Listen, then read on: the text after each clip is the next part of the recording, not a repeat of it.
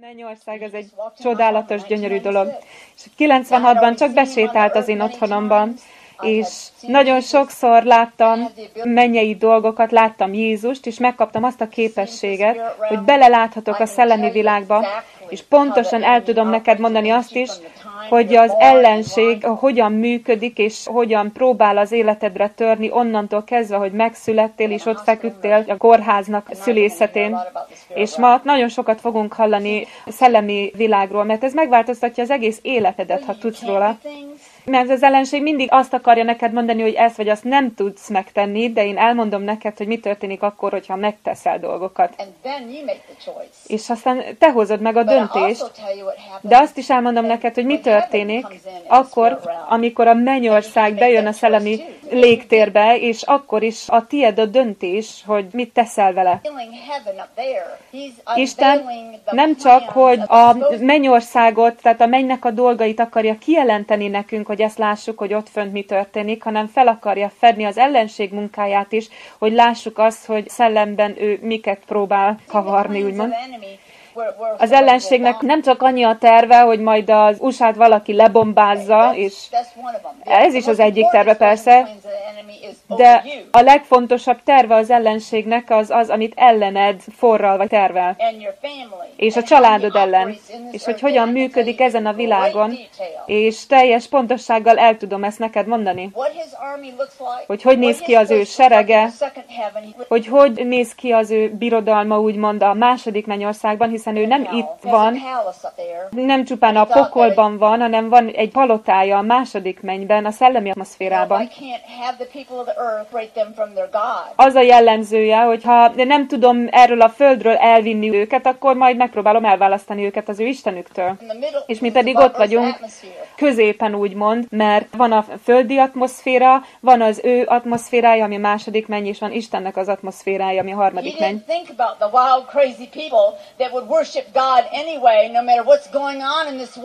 És ő nem gondolt akkor, mikor ilyen támadásokat próbál intézni ellenünk, hogy vannak olyan vad emberek, akik nem foglalkoznak azzal, hogy mennyire támadja őket, akkor is fogják Istent imádni és dicsőíteni. És a dicsőítésed egy fegyverré válik a kezedben. Két dolgot tesz az, amikor imádod az Urat. Egyrészt Isten szívét megáldod, másrészt pedig az ellenség munkáját lerontod, és szinte széttéped. Ugyanabban az időben. És az oka annak, hogy azt mondja az ige, hogy ne hagyjátok el a szentek közösségét, az az, hogy ahelyett, hogy ilyen kis zárdákat intéznénk csak az ellenség ellen, és azzal próbálnánk hadakozni ellene, fogunk egy hatalmas nagy rakétát, és azt küldjük az ellenség ellen. És ha te beleláthatnál a szellemi világba, hogy mit jelent, amikor együttesen imádjuk az Urat, olyan, mint hogyha egy hatalmas nagy ballisztikus rakétát kibocsátanánk a szellemi világba, a második mennybe, és szó szerint felrobban dolgokat, és dolgok felrobbanak és eltűnnek a második mennyből. Más szavakkal az ő dolgait, tehát az ellenség dolgait romboljuk. Nem csak az egóját, hanem a dolgait, azokat a drága dolgokat, amik számára értékesek teljesen szétromboljuk és szétzúzzuk, amikor ebben az atmoszférában csak imádjuk az Urat. És amikor erre rájöttem, azóta soha többé nem dicsérem az Urat ugyanúgy. Mert erő van az imában, erő van a dicsőítésben is. Zsoltárok könyve 149-es, le is írhatjátok. Egyszer az egyik lányom hazahozott magával egy CD-t, egy rock CD-t, és mondta, hogy hát csak egy dalt szeretnék róla róla meghallgatni, csak az az egy dal érdekel. A többit nem fogom hallgatni. És behozta magával a házba, és láttam a, a szobában, mikor bejött, egy démon ott jött mögötte, és követte őt egészen az ágyáig. Nem tudta megérinteni a lányomat, de ahogy behozta azt a CD-t, azt követte az a démon. Ha szeretnének megtudni, hogy melyik CD volt ez, Jack Black, aki egy színész is, kiadott egy Tenacious D nevű CD-t, egy rock CD. Sok ilyet fogsz még ma este hallani. Szóval tudnod kell azt, hogy ahová te mész, az a dolog fog beléd lépni. Amit mész és megnézel, elfogadod, és azt helyesled, és elismered. És emiatt. A démon jogosságot kap, hogy ott legyen az életedben is. Ugyanaz a démon, aki a CD borítóján látható egy ilyen démoni fej, ugyanaz a démon volt ott a szobánkban. És nagyon csúnya feje volt. És csak ott sétálgatott fel le, watching her. És le nem vette volna a szemét a lányomról, állandóan figyelte. És én pedig hagytam, hogy ott maradjon. Következő reggel. Jött és zörgetett a szobámban, nem tudtam egész este aludni. I don't know what it was. Anya, nem tudom, hogy mi volt velem, annyira rosszul érzem magam. Bejönnél a szobámba, és imádkoznál értem. Mama, nem tudom, mi történt. És mondtam neki, kit hoztál magaddal haza?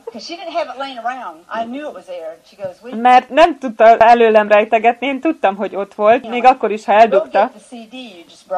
És csak nézett, lesütötte a szemét, és mondtam neki, hogy menj, hozd be a CD-t, amit hazahoztál. kivisszük a lakásból, és tönkretesszük, tehát kidobjuk a szemétbe. Mondtam neki, hogy amint ezt megtetted, akkor bemegyek a szobádba, és imádkozom, de ha ezt nem akarod, akkor nyugodtan a kis új házi állatodat megtarthatod kedved szerint. No nem teketóriázok túlságosan sokat. Olyan gyorsan viharzott be a szobájába, hogy alig láttam a végét. És azonnal-. Kivitte a CD-t, össze is törte, és aztán imádkoztunk, a démon elment, soha többé nem hozott haza semmi ilyesmit magával. De igenis, behozhatsz a házadba ilyen dolgokat. Nagyon sok ilyen ajándékot kaptam már az előtt, mielőtt elkezdtem volna a mennybe menni. Már akkor is nagyon furcsa voltam. Ez az apámnak a hibája, mivel ő is ilyen volt, állandóan kereste az urat, és ez egy generációs dolog, már az ő szülei is ilyen istenfélők voltak. Margaret, aki az egyik segítőm, az ő férje az, akivel beszélgetést folytattunk. Testvérem az ő férje, és ő is pontosan ilyen, szóval az egész generációnk ilyen volt.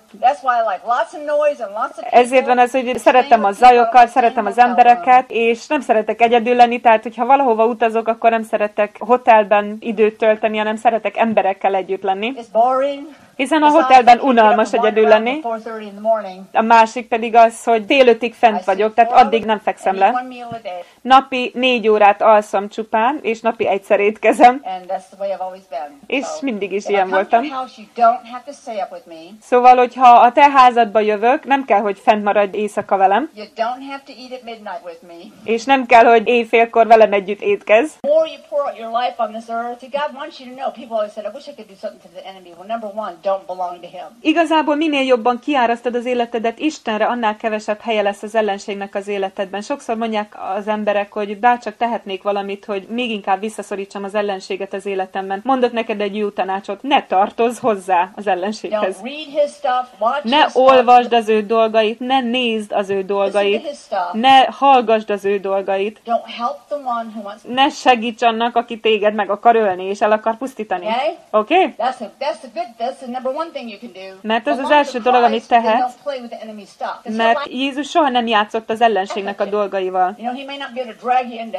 Hogyha játszol úgymond az ellenség dolgaival is az úréval, lehet, hogy az ellenség nem tud a pokolba cipelni magával, de végig az életet, amit itt töltesz a földön, teljesen össze-vissza kuszálja a dolgokat itt neked. Elgyengíti mindazt, amit Isten belét helyezett eredetileg. De amikor az életedet kiárasztod, és átadod az Úrnak, és teljesen megadod magad neki, that mindent feladsz neki, bármi is legyen az, amit ő elkér tőled, amikor hazamész, az a dicsőség, ami belőled fog kiáradni, és abból a szállítóeszközből, ami végig megy a második menjen it először, huge caverns through the second heaven, and they all know you went home. Egy hatalmas űrt hagy a második mennyben, és mivel óriási módon világít, mindenki tudni fogja az, hogy te hazamentél, mert pontosan látni fogják. See, the enemy's kind of not very smart sometimes because he thinks if I can kill them and get them out of the way, they won't be down here, but they're going to be doing damage on the way home anyway. még azzal is rombolást végzel, mikor hazamész a mennyben, a második mennyben, és az ellenség nem túl bölcs, vagy nem túl okos, mert sokszor megpróbál bennünket elpusztítani, és úgy gondolja, hogy ha meghalunk itt a földön, akkor legalább meghalinthat talán bennünket, de nem tudja azt, hogy ha meghalunk, és ő így sem úgy sem vihet el minket, hanem a mennyben megyünk, még a mennybe menetelünk során is az ő birodalmát pusztítjuk. Élveztétek ezt a kijelentést? Szóval nagyon gyorsan megyünk tovább még. Nagy meglepetés lesz a számodra, mert most azt akarom megosztani neked, hogy az erőszakosok mennyek királysága, és az erőszakosok elveszik azt, és szeretném, hogy felbuzdítsa ez a szívedbe, és szeretnék mindent a szívedben fellángoltatni, vagy you came feleleveníteni. Szóval érted azt ugye, hogy Isten szívéből származol, onnan jöttél ki, so és ő alkotta meg ezt a világot, az egész földet ő teremtette, hogy legyen hová megszületned majd. És az ő terve volt az, hogy családokat alkosson és elküldje az ő családját. Szóval ő megalkotta, megteremtette ezt a földet, hogy téged ide elküldhessen. És te, mielőtt elküldött volna téged, ott kérlelted őt. Mindannyian. Kérleltük az Urat, hogy jöhessünk erre a földre, és küldjön bennünket, mielőtt eljöttünk volna ide. És hogyha ott lennél az atya bensejében, most hallanád, hogy azok a kis szellemek ott kérlelik az atyát éjjel és nappal. Uram, küldj engem, küldj engem, engem küldj, engem küldj, engem küldj. Mert tudják azt, Hogyha elhagyják az atya szívét, akkor ő rajta, ha kívül fognak élni, akkor el tud, és bennük tud majd élni tovább az Úr, tehát ő bennük tud lenni, So és ezt mindennél jobban akarják erre, mindennél jobban vágynak. Szóval egyetlen egy ember, aki megszületett erre a földre, senki sem jött véletlenül erre a földre. Mindannyian kérleltük az atyát, hogy jöhessünk és megszülethessünk. És mindannyiunknak van küldetése az életünkben, minden egyes személynek ezen a földön, aki megszületett, valamilyen terve van az Úrnak az életeddel. És ezen a földön van egy küldetésed, egy célod, egy sorsod. És az egyik ilyen célja az életednek hívőként, hogy Isten kenetét az életedben is Isten erejét, mert az az erő, ami feltámasztotta Jézust a halálból, ez az erő benned lakozik. És ez meg tudja változtatni az életedet, a családodat, a barátaidat, a munkatársaidat, azt a helyet, ahol dolgozol, azt a helyet, ahol even laksz. Még azokat a helyeket is, ahová mész, teljesen meg tudja változtatni. Ez az erő, ami benned van. Tedd a kezedet, vesd a kezedet mindenre, mert azt mondja az ige, hogy minden, amihez hozzáérsz, az áldott lesz. És el fog jönni az az idő, hogy csak kigondolsz valamit a gondolataidban, és már meg is fog történni az. Mert ez egy szellemi dolog, oké? Okay? Csak gondolhatod magadban, hogy én Isten kenetét magamból kibocsátom, és hozzáérsz valamihez, és a kenet rátapad azokra a dolgokra. És bárki, aki ül azon, amit te megérintettél, vagy megérinted a tányért, és eszik abból, vagy megérinted a ruhát, és azt magára veszi, az az ember megérzi Isten erejét és az ő kenetét, és megérinti őt az Úr. És ez nem csak profétákra, evangélistákra, tanítókra, pásztorokra vonatkozik, Hanem azt mondja az ige, amikor te befogadtad őt, akkor egy depozitot, egy letétet kaptál az ő erejéből, ami a mennyből származik, és ez benned van a te bensődben. És a mi feladatunk az, hogy kiengedjük ezt magunkból, és felszabadítsuk ezt ezen a földön. Ezt fogjuk majd meglátni, több millió keresztény, több millió hívőt meglátunk majd, amint elkezdik felszabadítani ezt a bennük rejlő erőt, és Isten ereje kiáradhat. Mert nem csak bennük lesz és ott fog csücsülni, hanem a világra ki fog terjedni, ki fog áradni ez az erő, ami bennük van. Egy óriási befolyással lesz ez a, a körülöttünk levő sötétségre, a világra. És természetesen Jézus Krisztus vére az, ami ezt lehetővé teszi. Mert amikor befogadtad őt az életedbe, akkor ez természet fölötti módon neked adta. Ez egy eszköz, egy harci szerszám, So egy kard. Szóval, things amit most tenni fogunk, az az, hogy meg fogunk térni mindazokból a dolgokból, amiket az életünkben tettünk, amit nem lett volna szabad tennünk. Amikor például megnéztél dolgokat, amiket nem lett volna szabad látnod, vagy elmentél olyan helyekre, ahova nem lett volna szabad menned, és tudod, mi történik, amikor ilyen dolgokat teszel? Az ellenség megjelöl téged. Méghozzá úgy, hogy rád hány, és az ő hányadéka rajtad marad, mint megjelölés, mint jelölés. És te nem láthatod ezt, ez láthatatlan, de én látom.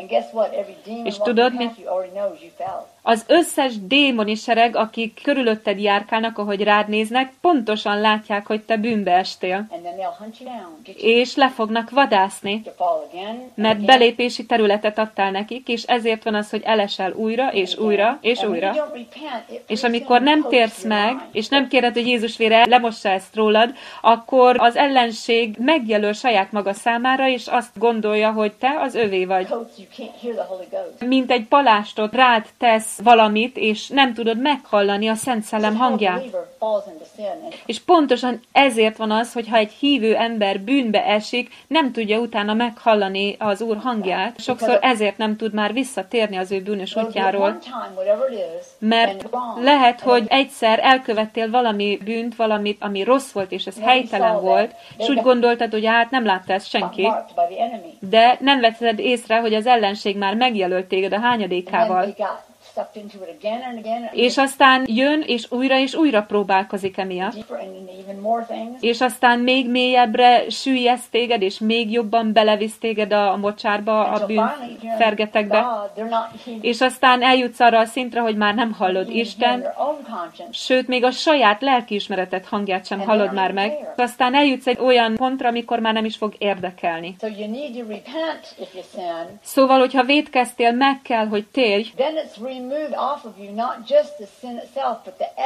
Aztán Jézus vére lemossa ezt rólad, és eltünteti rólad ezt megjelölést, és nem csak magát a bűnt, hanem még ennek a következményét és a jelét is kívülről. És az ellenség, ahogy rád néz, azt látja, hogy nincs már rajtad semmilyen jelölés, tehát fehér vagy, bűntelen vagy. And when you fall and fall and fall, he actually has a graveyard in the second heaven. He scratches your name on that tombstone. De amikor viszont újra és újra elesel, és elesel, és elesel, akkor ott a pokolban már egy saját sírkövet farag ki számodra, és ott csinosítgatja, Várja, hogy oda kerülhess.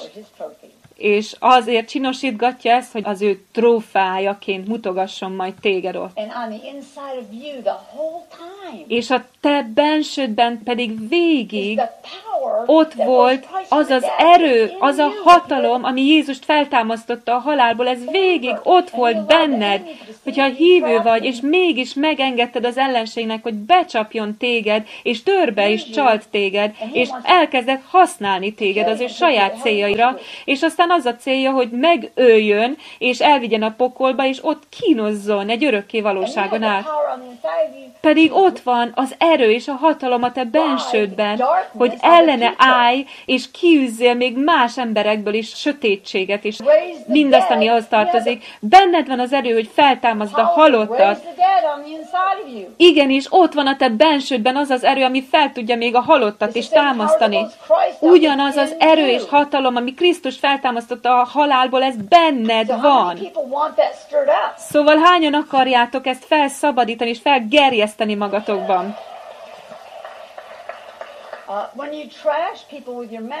Amikor a száddal leírsz embereket és szemét dolgokat beszélsz másokról, amikor eh, plegykálkodsz, vagy hátulról hátba szúrod őket, és teljesen haragban olyan dolgokról is beszélsz, meg olyan indulattal is beszélsz az emberekről, vagy előttük, vagy a hátuk mögött, amikor a szellemi világban azt láthatod, hogy a szádból egy pöceg gödör jön ki. Isten igéje azt mondja, hogy a mi bensőnkből élő víznek folyamai áradnak, és ez az életnek a folyója, ami Istentől származik, marmazik, ami az embereket teljesen be tud borítani. És amikor imádkozol az emberekért, mikor bátorítod és buzdítod az embereket, és pozitív dolgokat beszélsz ki róluk, akkor életet beszélsz beléjük. És amikor valaki például durván beszél veled, de te szeretetben válaszolsz erre a durvaságra, ez az élet folyója, ami az atyábnak a belsejéből árad, a te szellemeden keresztül árad, és belőled rá árad másokra, és beleárad az ő életükbe rajtad keresztül. De amikor az ellenkezőjét teszed ennek, akkor is történik valami. Teremtesz a szavaiddal mindig, és méghozzá pöceg gödröt, tehát emésztő gödröt teremtesz. És démonok jönnek, és abban úszkálnak, és fürödnek. Life. És te pedig csak hagyod, hogy ezt tegyék az életeddel, és az életedben. Sokszor úgy jönnek már haza, mint hogyha bejárásuk lenne, és egy mocsárt alkotnak, és ott fürdenek és úszkálnak. Mert hogyha nem térsz meg a bűneidből, akkor ez ott marad, és benne élsz, benne lakozol, és az ellenség pedig ott lakik veled együtt, benned. És ez okozza azt, hogy állandó szétosztás, elválások vannak, és mindenféle harag, felindulások, behozhat betegségeket, szegénységet az otthonodba, mert azok a dolgok, amiket te kimondasz a szádon keresztül, azt mondja az ige, hogy nagyon erőteljes az, amit a száddal kimondasz, hiszen élet és halál van a te nyelveden, a te szádban. Te vagy az, aki atmoszférát teremtesz magad körül, azáltal, amit kimondasz a saját életedben is, és mások életében is, szavak által. Isten is szavak által teremtett még téged is, és téged pedig az ő képmására alkotott. Amikor te beszélsz és kimondasz dolgokat, valami történik mindig. És az ellenség azt akarja, hogy olyan dolgokat mondj ki, amit ő akar, hogy kimondjál a szádon. Ő rak az elmédbe szavakat, hogy azt kimond a szádon, és használja a te szádat, és te csak azt gondolod, hogy ó, hát ez tőlem jött, ezt én gondoltam, de nem, nem is tőled jött, ezek az ő All gondolatai voltak. Az összes családon belüli erőszak is így kezdődik el. Van egy kicsi kis démon, aki akkora, mint egy pók, ráül a te válladra, elkezd megszurkálni téged, és elkezd hozzád beszélni, és elkezdesz vitatkozni a másik emberrel. Úgy gondolod, hogy ez tőled jön, és a harag egyre jobban növekszik benned. És az ellenség ki nem állhat téged, és minden, amit mond neked, rád dobja úgymond ezeket a dolgokat, és te pedig elkezded azokat kimondani. És tudod, mi történik? Aztán átugrik a másik embernek a vállára rólad, és adja ő belé is ugyanezeket a gondolatokat, és ő is elkezd veled vitatkozni, és így alakulnak ki ezek a vitatkozások. Így egyre jobban nő mindkét emberben a harag, és erősebb és erősebbé válik. És hogyha annyira erőteljessé válik, akár gyűlölet is fajulhat. És tudod, a gyűlölet ebben benne van ebben a szóban is az ölni, tehát ez mindig halálban végződik. Uh. Mert ha gyűlöletet tud benned teremteni, akkor olyan erőt tud venni fölötted az életed fölé. Amikor már leuralja a gondolataidat és a szádat, és amit mond neked, azt fogod kimondani a te szádon. És az egész alkalommal, miközben ez a dolog történik, végig nevet rajtad, és kiröhög. Uh, Végig uh, nevet. Amikor lekontrollálja az életedet, Ha csak befognád a szádat, és nem mondanád ki a negatív dolgokat, és megfordulnál, és nem mondanál vissza, nem szólnál vissza egy rossz szót sem, akkor egyszerűen nem tud uralmat venni fölötted, nincs fölötted hatalma. Igazából ennyire egyszerű, lehet, hogy nehéz megtenni ezt, de ennyire egyszerű, és meg tudod tenni, csak elhatározás kérdése. Elhatározod azt, hogy nem fogok mondani semmit, ami rossz. Sőt, amikor odáig tudsz eljutni, hogy odafordulsz ahhoz a személyhez, aki téged bánt, és ahelyett, hogy negatívat mondasz ki, vagy nem szólsz egyáltalán egy szót sem, szeretetben kezdesz el beszélni azzal az emberrel, az ellenség el fog onnan futni. Mert nem akarja, hogy odafordulj ahhoz a személyhez, és azt mond neki, hogy bármit, amit mondasz nekem, bármit, amit gondolsz rólam, nem érdekel.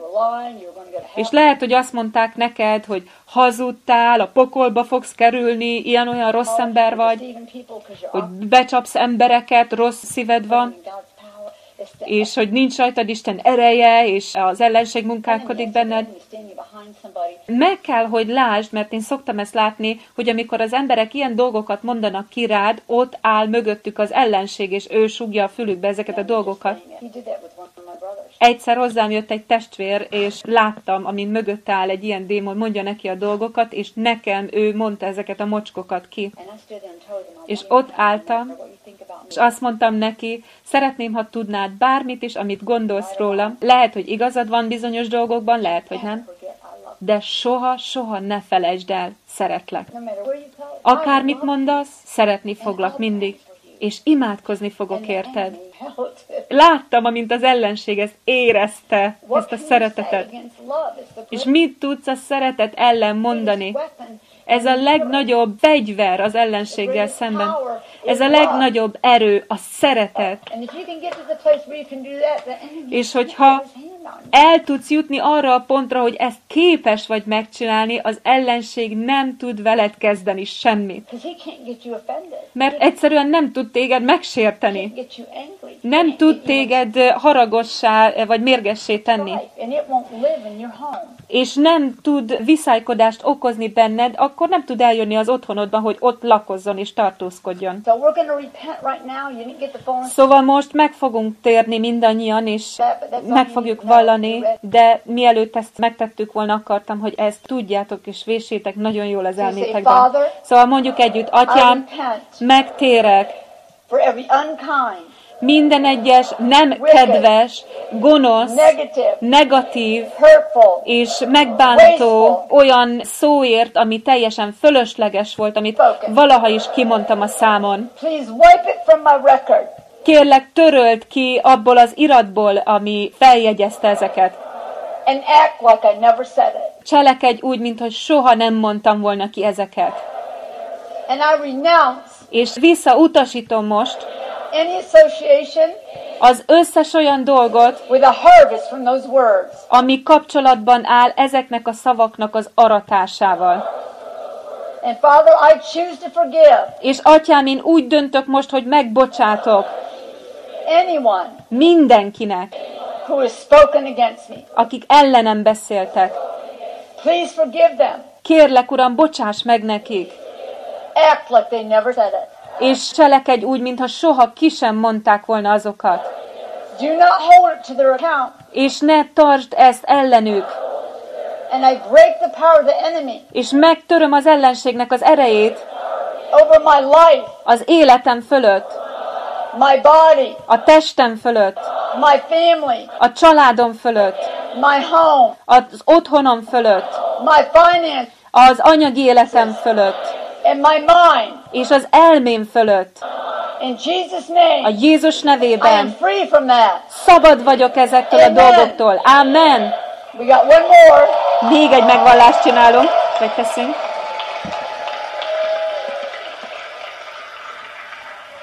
And just to give you all a little tip, if Hogy adjak egy kis tippet nektek, hogyha úgy fogsz körüljárni, hogy azt mondod, atyám, legyen meg a te akaratod, úgy a földön, mint ahogy a mennyben, akkor szeretném, hogyha tudnád, hogy a mennyben nincs boszorkányság vagy varázslás. There are no vampires in heaven. Nem léteznek vámpirok a mennyben. It is not a fantasy. Ez nem csak fantázia, valóságos. That's the other side of the spirit realm. És ez a másik oldala a szellemi világnak. See, there's only bad evil. Szóval csak rossz gonosz létezik, No good evil mert jó gonosz nem létezik. Csak rossz gonosz. Nincsenek jó boszorkák és rossz boszorkák. Nincsenek jó vámpirok and és rossz vampires. Ezek mind-. Mindannyian az ellenséget képviselik és jelképezik. És hogyha te ilyen dolgokat nézel, és ilyen dolgokra hallgatsz, vagy figyelsz, és meghallgatod, megnyitod magad az ellenség előtt. Whatever you enter into, Mert bármi, amibe belépsz, akár olvasáson keresztül, vagy nézésen keresztül, vagy tévénézésen keresztül, vagy rádióhallgatáson keresztül, vagy bármi más hallgatásán keresztül, az fog belépni a te életedbe.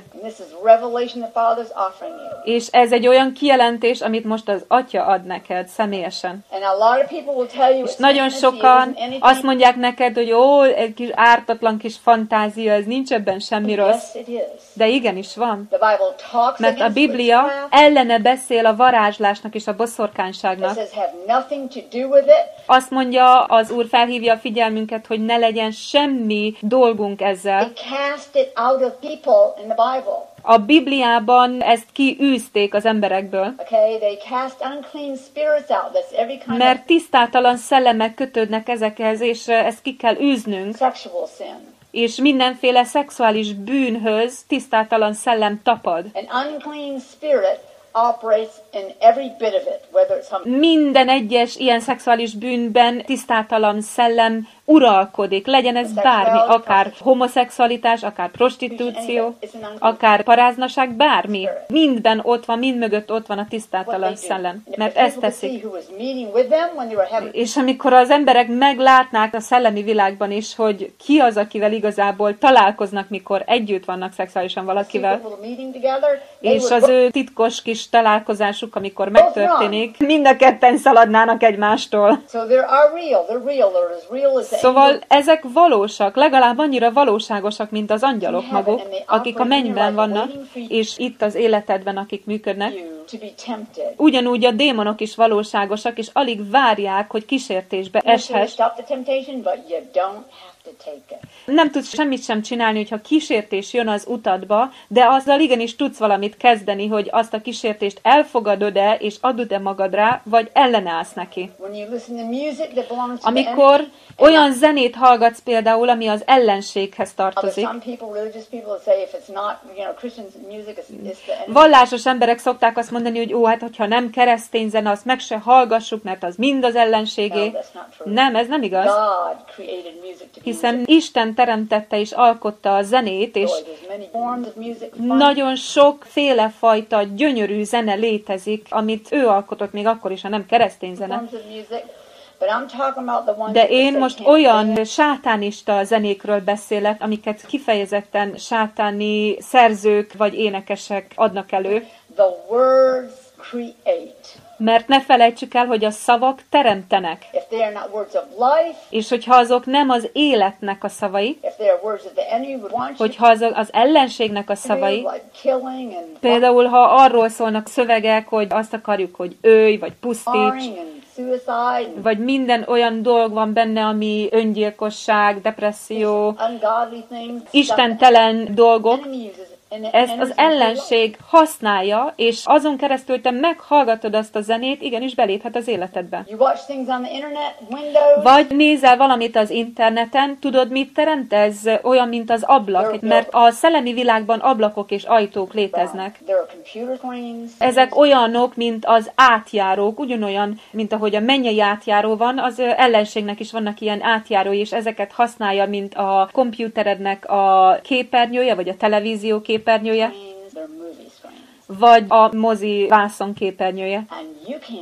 És te ezt nem láthatod. De hogyha beleláthatnál a szellemi világba és megnézhetnéd, magából a képernyőből kiugranak ezek a szellemek, démonok. És hazaviszed magaddal őket. Bármit, amit nézel, vagy megengeded magadnak, hogy azt lásd, vagy megnézd, vagy a te jelenlétedben valaki megnézi, és te azt elfogadod, akkor adod magad hozzá. Ezt mondja Isten. Hogyha befogadod azt, akkor ezt úgymond elismered, és jogosítod az életedbe, tehát jogossá teszed a, annak meglétét, és akkor annak pedig joga lesz, hogy veled együtt sétáljon el, tehát veled menjen. És valószínűleg nincs arra ereje vagy hatalma, hogy a pokolba rángasson magával. De amíg itt élsz ezen a földön, a teljes életedet összevisszaságát tudja tenni. Szóval, hogyha nagyon sok dolog van az életedben, és nem érted, hogy miért van ez, miért van az, miért történnek dolgok, negatív dolgok. Ha például megnézted a Harry Pottert, hogyha megnézted a saying. én csak azt mondom nektek, amit a mennyből hallottam, amit ők mondtak. Mert csak gondolj bele, hogy mit csinálnak ezek a Pokémonok. Ezek olyanok, mint egy kis állatkák, egy dolgot akarnak, háborút. Arra lettek megalkotva, hogy az erőszak szellemét szabadítsák föl. Az eredetük Japánból származik, és a természetük a lázadás. Azok, akik ezt csinálták, ők teljesen benne vannak ebben a szellemben, tehát ez a szellem uralja az ő életüket. Teljesen az a céljuk, hogy a gyerekek megnézzék ezeket, és démonok leuralják már gyerekkorban az ő életüket. Mivel a gyerekek már kiskoruktól kezdve ezek a kis démoni, olyanok, mint a, a kis háziállatok, mint démonok, ilyen testeket vesznek föl, és ráugranak az emberekre, a gyerekekre, és azok pedig így nőnek föl, már ezeket hordozva magukban. És az otthonodba ez visszájt fog kelteni. És annál sokkal többet is, a gyermekeidben lázadást fog teremteni. És végül olyan szintre fog fajulni, hogy a gyermekeidben gyűlölet lesz.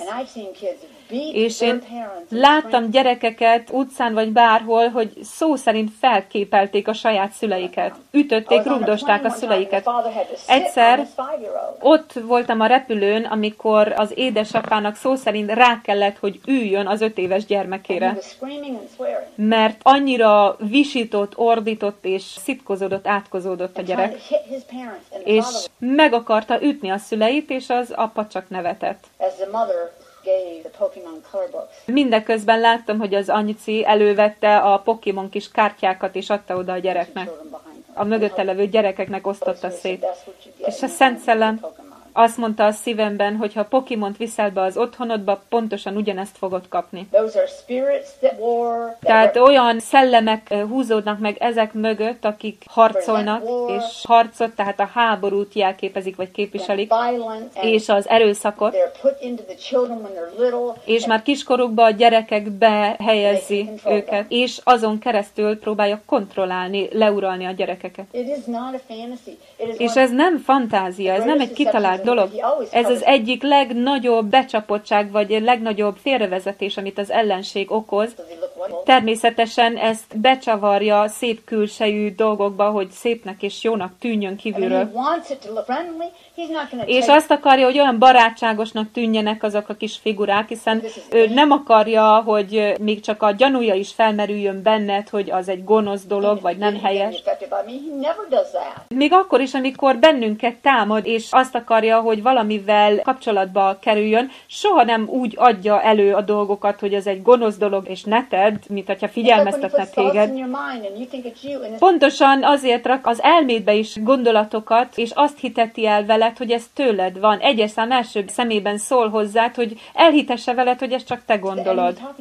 De igazából az ellenség beszél végig hozzád.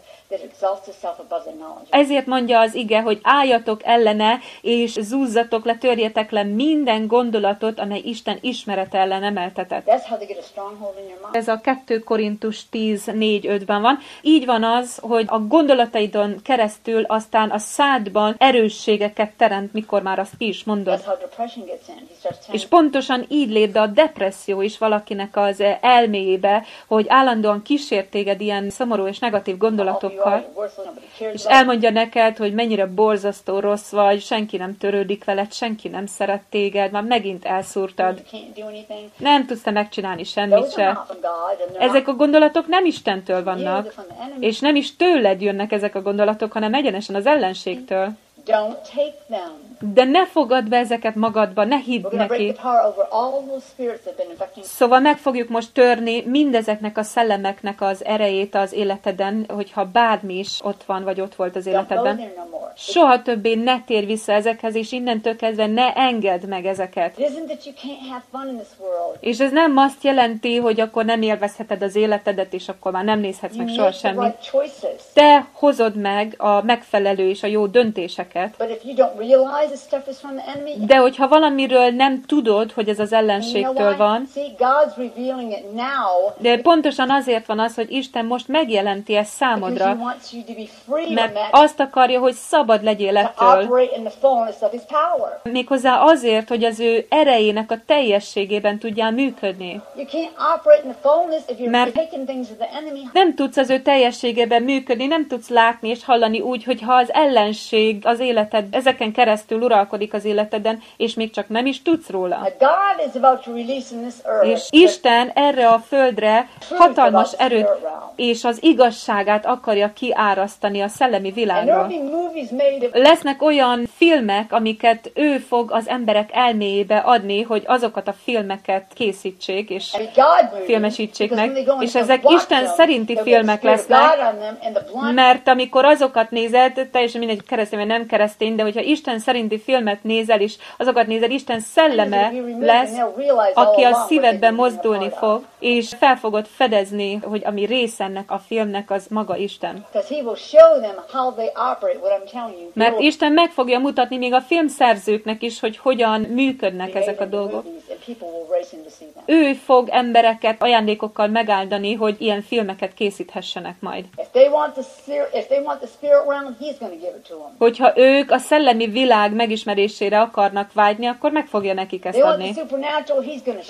Mert természet fölöttire vágynak az emberek, és Isten meg fogja nekik azt mutatni.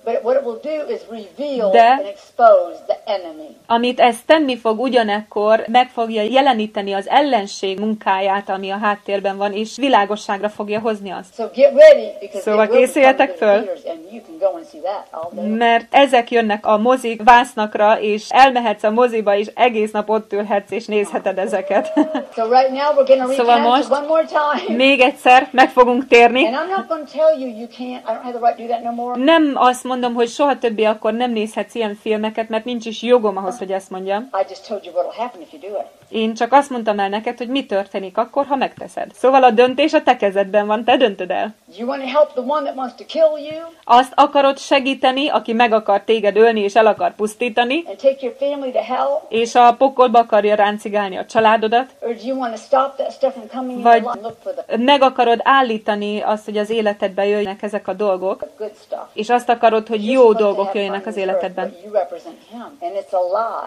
So you need to know the difference. Azt próbálja elhitetni veled, hogy az ellenkezőjét teszed, amikor te a világosságban jársz, megláthatod azt, hogy ez az egész csak hazugság, és az ellenség teszi ezt, de Isten kijelentést akar adni a szellemi világról, hogy megtudd az igazságot.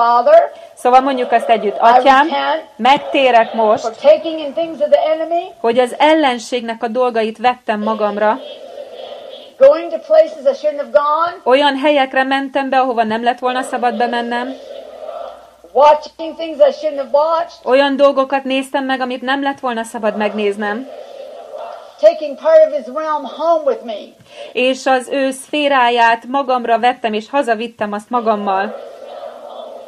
I renounce Én most visszautasítom ezt, és megtagadom minden egyes olyan dolgot, amivel kapcsolatba kerültem, ami a boszorkánsággal, vagy varázslással kapcsolatos, vagy bármilyen démoni erővel, amit befogadtam, vagy magamra vettem. Anélkül, hogy tudtam volna, hogy ez az ellenségtől származik. Én többé nem fogom ezt csinálni. And I break his power És megtöröm az ellenség erejét over my life, az életem fölött, my body, a testem my fölött, mind, az elmém fölött, my spirit, a szellemem fölött, my home, az otthonom my fölött, family, a családom my fölött, finances. az anyagi életem my fölött, health. az egészségem In fölött. Jesus' name, A Jézus I am nevében free. szabad vagyok! Woo! Hú!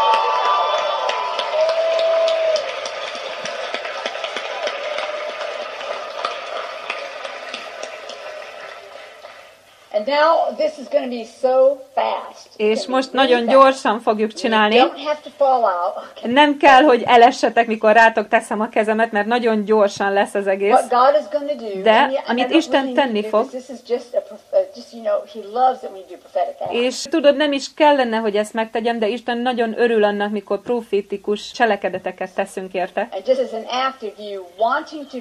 És ez Egy olyan cselekedet, ami egy szimbolikus vagy jelképes cselekedet, ami által akarjuk, hogy a menny kenete kerüljön az életünkre, és az föl legyen buzdítva, föl legyen gerjesztve.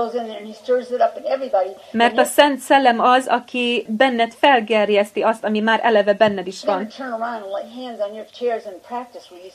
És aztán te is, amikor a kezedet teszed másokra, és imádkozol, kenetet szabadítod fel az ő életükben is majd. Ennyire egyszerű az egész. És aztán hazamész, és ráteszed a kezeidet a bútoraidra, az autódra, amikor mész például egy étterembe, akkor a kezedet rakod mindenre, ami ott van, az evőeszközökre, a székre, amiben ülsz, mert minden, amit megérintesz, amin jársz, amin ülsz, a kenetet árasztod ki magadból, hogyha másokkal együtt vagy, elmész például enni együtt velük, és megáldod az ételt, és a kenetet árasztod az étel, amit meg fognak enni. És hogyha valaki haragszik rád, és küldesz egy bocsánatkérő kártyát, megérinted azt, imádkozol azért, hogy a kenet áradjon ki azon a kártyán keresztül abba az emberbe, és amikor az az ember megkapja és megérinti, akkor megkapja a kenetet, és azzal együtt nagyon sok bizonyságunk van csodákról, például emberek meggyógyultak, amikor ezeket csinálták. Életek álltak helyre, anyagi életek változtak meg. Mert te Isten erejét szabadított fel ezekbe a dolgokba. Elmész valakinek a házába, aki például soha nem akart Istenről hallani, és mindent, amihez hozzáér a kezed, az ajtó kilincstől kezdve a szófáig, bármit, amire leülsz, vagy megérintesz, és akárhányszor mész ruhát vásárolni, akárhány ruhát megérintesz a boltban, minden érintéseddel az összes ruhába a kenetet szabadított föl. És mondod azt, a kenet áradjon, áradjon, áradjon. És amikor felpróbálják azt a ruhát, akkor a kenetet fogják magukra öltözni, magukra venni. Hiába leveszik a ruhát, a kenet rajtuk fog maradni. Mert ezt nem lehet lemosni, ezt nem lehet elhordani, vagy túlhordani, és az ellenség semmit sem tehet az ellen, hogy megállítson téged ebben. Amit- Megpróbál az ellenség elhitetni veled, hogy ó, nem is történik semmi, nem is történik igazából semmi sem. De tudod, miért teszi ezt? Mert teljesen meg van rémülve, amikor te ezt tudod, hogy mit tesz ez, és mégis megteszed. Amikor ő körülnéz, ő- Belenéz a szellemi világba, és ugyanúgy, hogyha védkeztél, és látja rajtad a jelét, amikor a kenetet szabadított fel szellemben, ő ugyanúgy Isten tüzét látja, tehát azt is látja. Amikor körbejár, látja azt, hogy ah, ott van egy hívő, mert látja a tüzet. És amikor meglátja az, hogy kik voltak azok az emberek, és aztán kivé váltak, teljesen be van ettől rezelve, és szinte retteg és fél ettől, mert Krisztusra emlékezteti őt. aki feltámadta halálból. És amikor Isten tüze, Isten ereje eljött Jézusba, és az ördögnek minden ellenségét széttörte, szétzúzta és szétrombolta az ő erejét, letépte sátánról az ő ruháját, ami tele volt rakva drága kövekkel. Erre emlékezteted őt.